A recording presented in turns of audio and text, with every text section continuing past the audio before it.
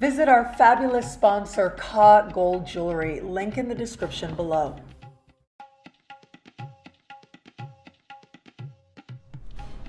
Hello, fabulous superstar Capricorn. Welcome to your horoscope for the month of May 2019, looking at life and love. I am your astrologer, Nadiya Shah. Thank you for being here.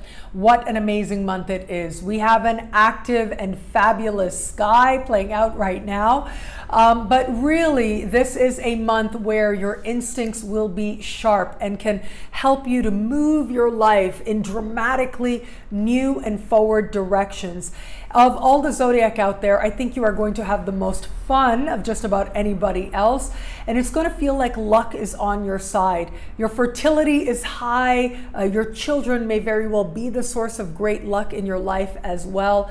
And you add to this a real sense of creative brilliance that can change your circumstances for the better. So there's a lot to talk about here, and it really starts with this month's new moon. Right around the 4th of the month, give or take a day on either side, depending on where you are on the planet, we will have this month's new moon. Now, this new moon takes place in this very fun and fertile and creative part of your sky.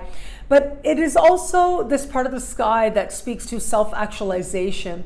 And given that this is one of the more positively aspected new moons that I have seen in a while, well, it does suggest that this is a time when you are tapping into something within you, some juice, some motivation that can help you to transform your circumstances in ways that last a very long time.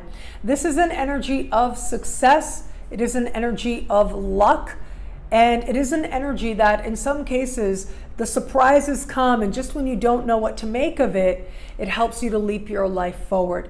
So, we have the new moon, but it isn't just about the new moon. It isn't just about an isolated moment, but rather, we'll have lots of supporting energies that carry the new moon energy forward that much more. And it starts with Mercury just days after the new moon. Mercury will move into the same part of the sky and will quickly connect with Uranus. Right in the middle of the month, Venus will move into this part of the sky and again very quickly connect with Uranus as well. This maximizes an energy of, of joy, really, of presence, of you feeling creatively awakened and you being blessed as a result of your creative vision. So, in just some very practical ways, uh, let me say this. If there ever was a time for you to take a risk, uh, whether it's on your own hunches, your own instincts, or even just buying a simple lottery ticket, this month really would be it.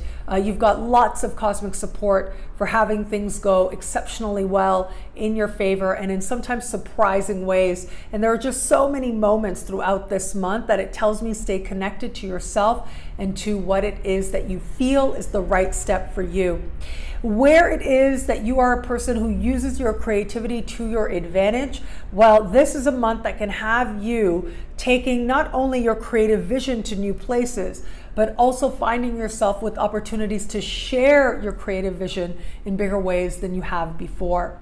And what we also have happening with this energy is it is very much about children and fertility. Whether you are feeling like a big kid or you are getting to spend more time with kids that matter to you, including your own children, or if you want children, you will be very fertile. You've got lots of cosmic support for your fertility surprising you.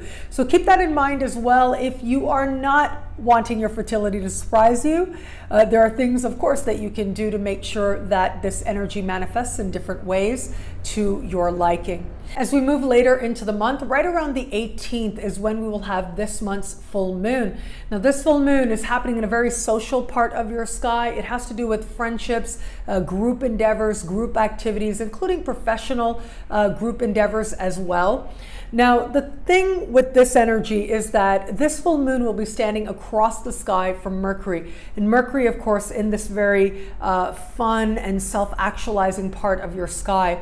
And what this tells me is that there might be a little bit of a contrast between what you feel you need to do for a group endeavor or what it is that other people want you to do and where it is that you are feeling uh, called towards, whether it's something that's fun for you, you think it'll be more fun than what other people want to do, or whether it is that you are hoping to move in a more creative endeavor. Uh, that can be part of it. This can also be a sense that there is something that you're working on with other people and you have a particular creative vision or something that you think would be a really good idea, but there may be some need for compromise that shows up at this time.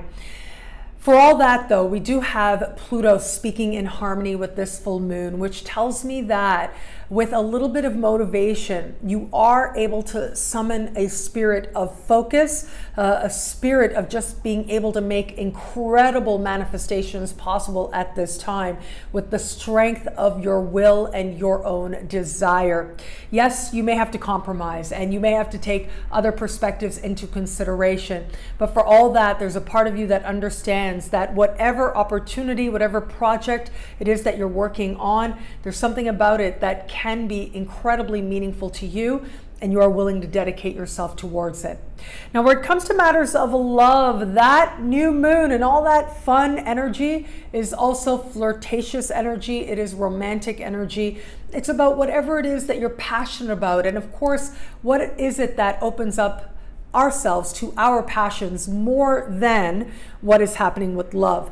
Now, you add to this right in the middle of the month, Mars is going to move into your opposite sign.